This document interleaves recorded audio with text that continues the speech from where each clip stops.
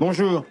Euh, moi non plus, je suis pas un homme politique, donc je vais, vais pas vous, vais pas vous dire de texte. Je vais simplement vous dire que j'ai rencontré un jeune candidat il y a cinq ans, un jeune candidat qui s'apprêtait à être président de la République et qui s'appelait Emmanuel Macron. Je l'ai regardé et je lui ai dit, quand on a moins de 40 ans et qu'on sait que dans quelques semaines, sûrement, on va devenir le président de la République, à quoi on pense? Et il m'a dit, être président de la République, c'est pas important. Ce qui est important, c'est ce qu'on va faire. Ce qui est important, c'est faire grandir mon pays. Pendant cinq ans, je ne vais vivre que pour ça, si j'y arrive. Et je peux vous dire que pendant cinq ans, il n'a vécu que pour ça, et que l'homme que j'ai revu tout à l'heure, qui est devenu un président de la République de plus de 40 ans, entre-temps, eh bien, il a, la, il a la même envie. Alors pourquoi je suis là aujourd'hui? Parce que mes parents, moi aussi, sont venus en France dans les années 50 pour faire un boulot que d'autres ne voulaient pas faire. Un peu comme ce soir dans le meeting de, de Marine Le Pen, je suis sûr que, des gens comme mes parents vont nettoyer la salle après. Parce qu'il faudra la nettoyer, la salle. Et moi, ce que j'ai envie de vous dire, c'est que Et le message que j'ai envie d'envoyer, il est simple, je ne vais pas être très long. Aujourd'hui, on a une campagne hallucinante. Depuis quelques années, la banalité, le racisme est devenu le quotidien. On a un candidat qui, je le remercie, qui n'est plus là. Grâce à lui, je n'aurais pas à changer de prénom. C'était, le plus pire. Et maintenant, il y a le moins pire parce qu'il y a un nouveau candidat qui nous explique que il va distribuer les bons points pour dire qui est un bon Français et qui est un mauvais Français.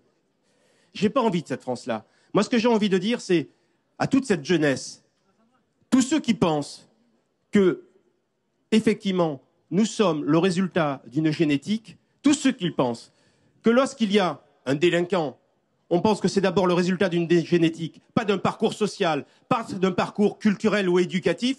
Je leur dis en face, à tous ceux qui pensent ça et qui votent Front National, je leur dis en face, regardez-vous, vous êtes racistes. Regardez-vous, vous êtes racistes. Que le vouliez, vouliez ou non, vous êtes racistes. Si vous pensez que les origines hein, ont une incidence sur l'attitude, vous êtes racistes à tous ceux qui votent Front National, à tous les élus du Front National, à tous ceux qui nous ostracisent une partie de la population, jour et nuit, si vous pensez que s'il y a une, autre, une origine, vous êtes racistes.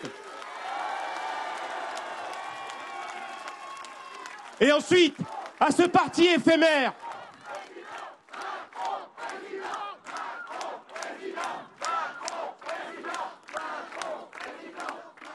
à tous ces jeunes dans les cités, à tous les jeunes dans les banlieues. Je leur dis, ça suffit.